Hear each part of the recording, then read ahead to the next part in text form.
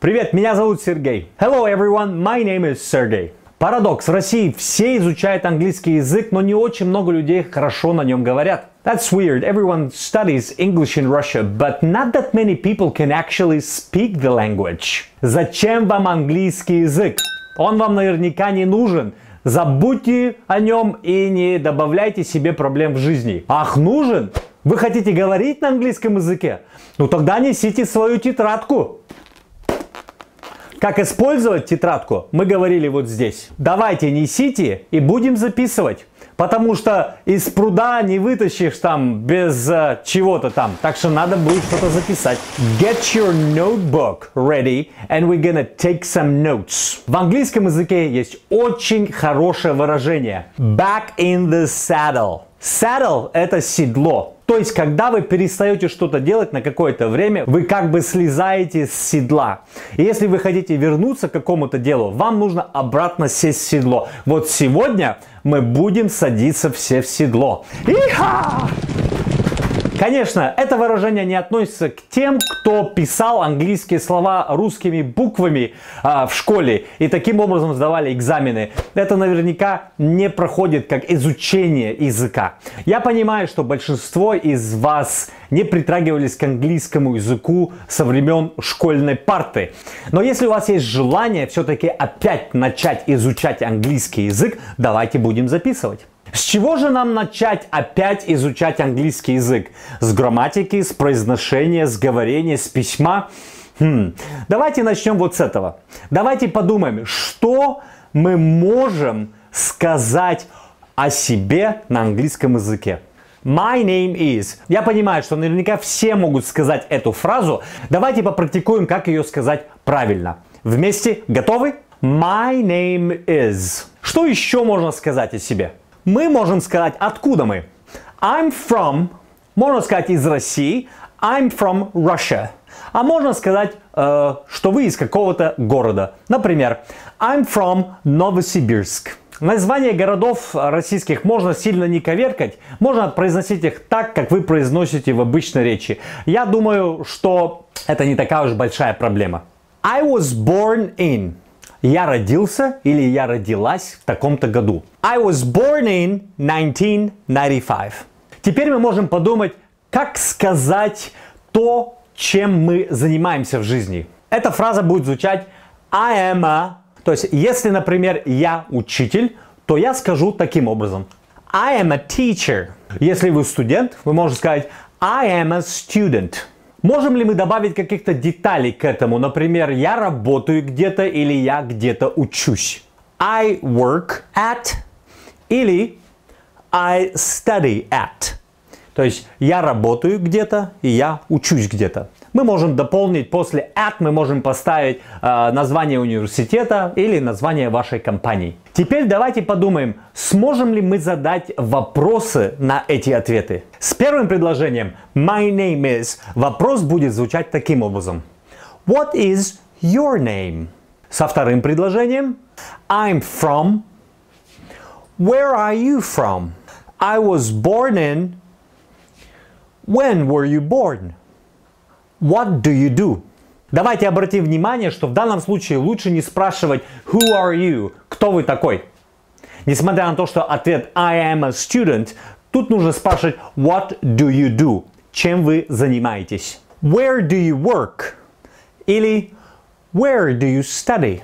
Если вы хотите опять начать изучать английский язык, вам нужно начать изучать его с себя. Вы можете проанализировать, что я могу сказать о себе в разговоре? Когда мы встречаемся с людьми, люди обычно спрашивают какие-то вопросы о вас. То есть, чем вы занимаетесь, как вас зовут, а, где вы живете. И иногда, порой, простые такие вопросы могут поставить нас в тупик. Если мы можем что-то сказать о себе на английском языке, мы будем чувствовать себя более уверенными. Нужно ли изучать язык каких-то цветов, изучать погоду или знать все формы глаголов в английском языке? Безусловно, это нам пригодится. Сейчас мы говорим о том, с чего нам опять начать. То есть вот эти вот заржавелые детальки в нашем мозге, которые когда-то, может быть, а, варились, когда мы говорили на английском языке, их нам нужно смазать информацией о себе. Что вы можете сказать из этого? Если здесь какие-то проблемы, если вы не знаете, что такое is, то, возможно, вам следующим шагом нужно будет посмотреть э, настоящее время в английском языке. Если вы не понимаете, почему говорит I was born, тогда вам нужно, например, посмотреть пассивный залог в английском языке. Это будет начало для того, чтобы показать, где у вас какие-то проблемы в английском языке. Если вы не знаете, с чего вам начать, мой вам совет – начните с себя.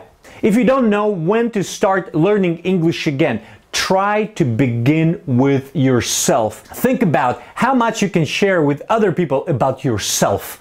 And then you can move on to something else. Если у вас нет проблем с этими пятью предложениями, мы можем расширить нашу область. Мы можем перейти на друзей, мы можем перейти на нашу семью, мы можем подумать больше о том, чем мы занимаемся. И самое главное, мы можем подумать о том, что мы любим делать, наши интересы и наши хобби.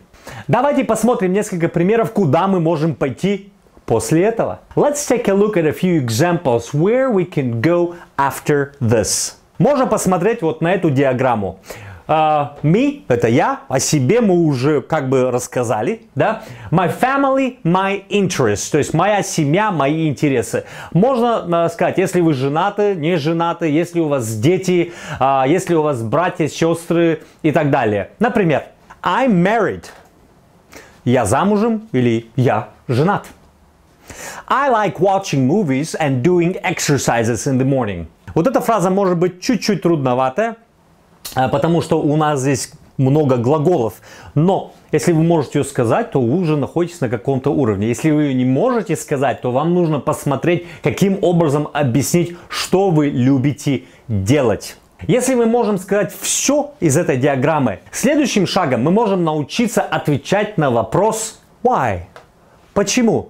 Почему я что-то люблю? Почему я работаю там? Почему я куда-то езжу? Почему? Очень непростой вопрос. Потому что нужно объяснить, используя большее количество слов, почему вы что-то делаете. После того, как вы ответите на эти вопросы, вы можете увеличить свою диаграмму, добавив в нее что-то из своего прошлого и попробовать объяснить то, что вы хотите сделать в будущем. Например, можно подумать о своем прошлом, my past, или о своих планах на будущее, my future.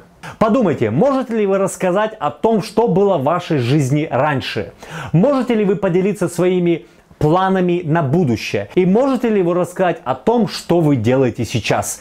Если вы можете охватить все это, то вы, в принципе, владеете языком настолько, чтобы поделиться всем чем вы хотите о себе с другими людьми на английском языке. If you can share with people about anything that happened to you before, if you can tell people about your future plans, and if you can tell people about what you do right now, you can cover most of the things that happen in your life.